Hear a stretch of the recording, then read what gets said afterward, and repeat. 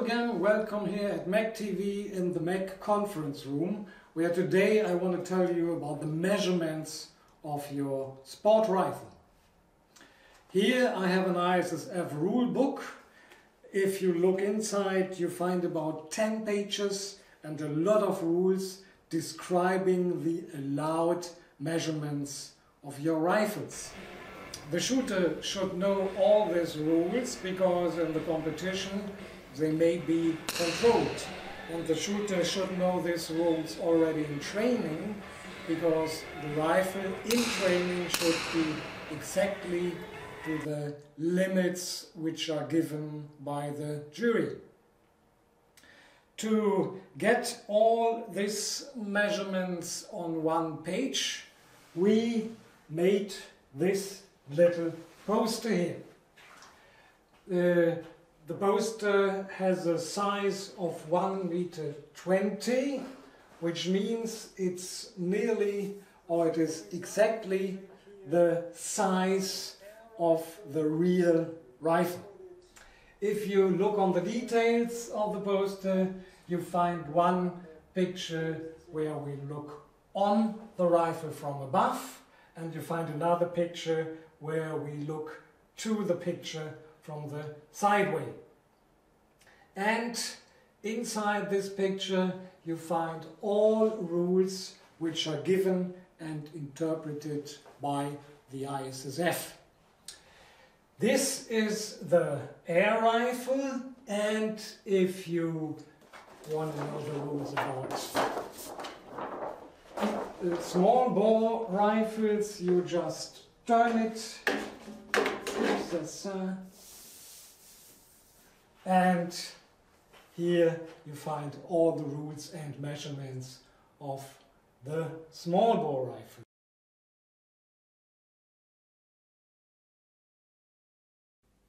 So Let us see how the poster is built up.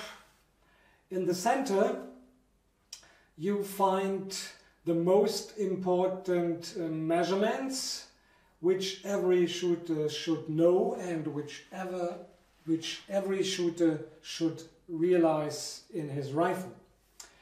These uh, main rules are written in English and in German.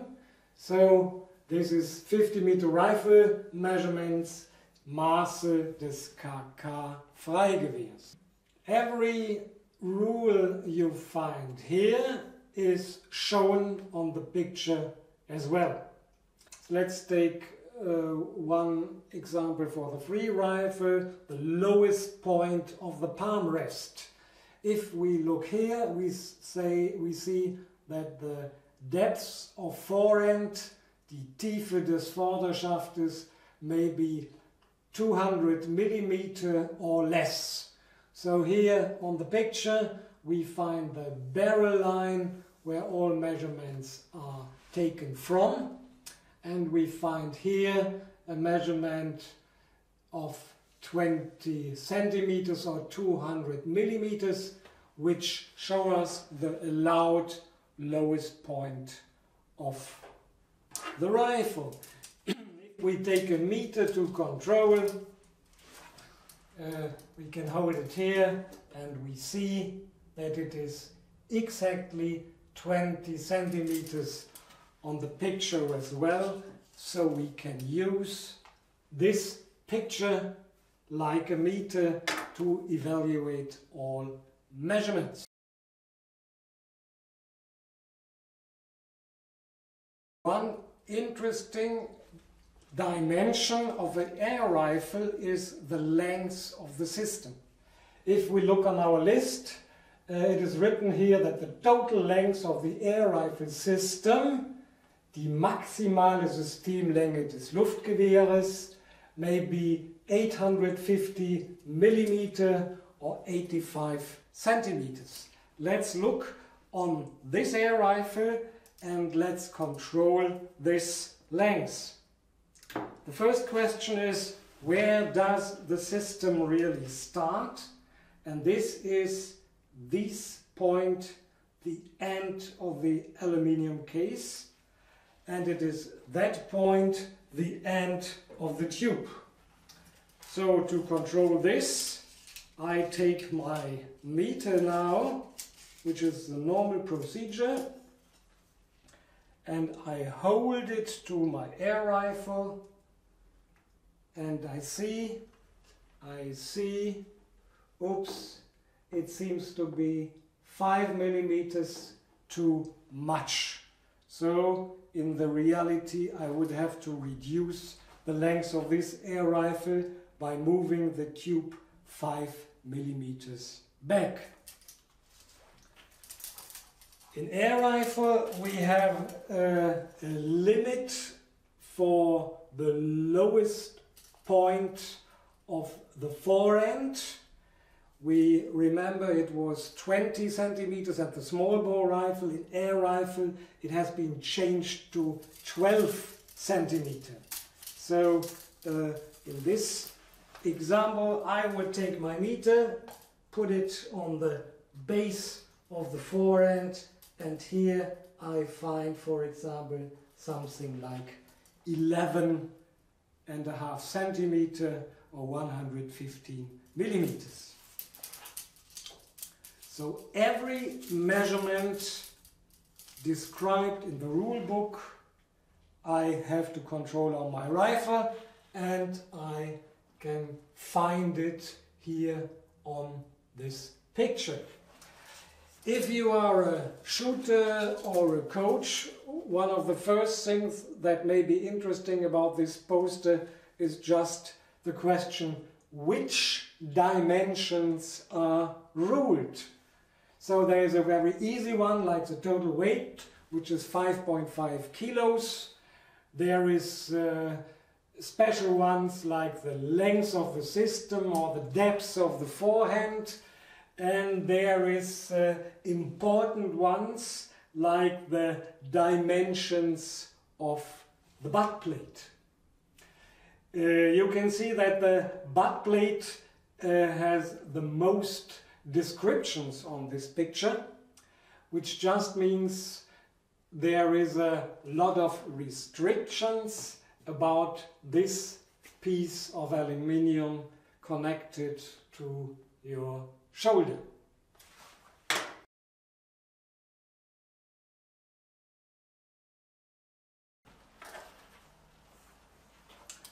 The butt plate, the form and the position of the butt plate seems to be of special interest for the rule makers. If we take a look on our poster, we find a lot of descriptions about the position and the form of the butt plate. So one interesting detail is, for example, the depth of the butt plate. If we connect the two top points of the butt plate, the question is how deep can it be at this place? And the rule says it can be two centimeters. As you see, we have uh, drawn it here uh, with a lot of arrows and lines to make it understandable. More important than the depth and the length of the butt plate seems to be the position. So uh, you see here that we have three different drawings which show us three different possible movements. One is moving the butt plate to the left or to the right, to the left or to the right, which can be three centimeters away from the axis of the barrel.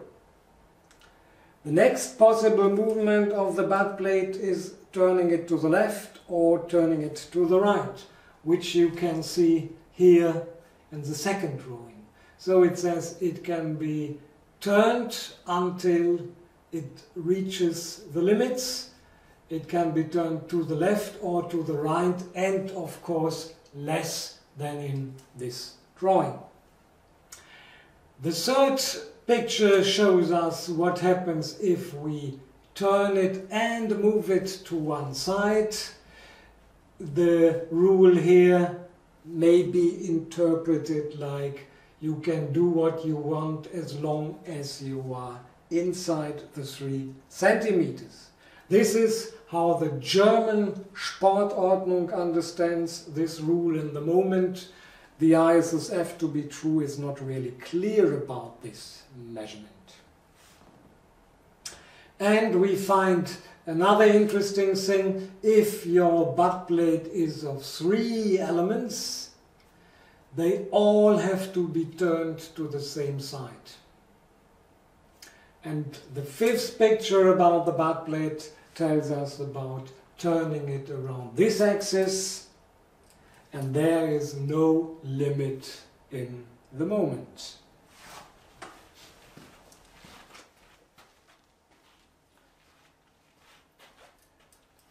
So when we want to control the dimensions of our air rifle, we can do it by taking the measurements from our list or from the rule book and then measure it in reality. Which means, for example, the lowest point of the grip we find here in the drawing can be 16 centimeters or 160 millimeters. So we take our meter, go to our rifle, go to the lowest point of our grip, and then we look where is the center line of the barrel, and in the moment this seems to be something like 15 centimeters. This is one way and uh, it's a little bit complicated if we want to measure everything. With our new poster we can do it in a different way. We put the rifle away for a moment, put our poster on the desk and now we take the rifle and put it directly onto the picture. So now we use the paper as measurement controlling the grip with the poster on the desk is quite easy. We put it in the way that the barrel line is in the center of our real barrel. And now we see the line here, which describes the allowed distance from the center of the barrel and the lowest point of the grip, which can be 160 millimeter. And as we see on our drawing, here is enough space the grip could even be two centimeters more down. This grip is definitely the same. This poster of dimensions and measurement of sport rifles was produced by Carl Walther and MEC. It may come to you with every new Walther sport rifle you buy in future or you can order it direct at macshot.com DE. On the poster you find the QR code that connects you to my homepage where you get the newest information about the change of rules. Whether you are a shooter or a shooting club, it's a good idea to get the measurement poster and to fix it to the wall of your shooting range. Thank you very much, hope you enjoyed this little tape.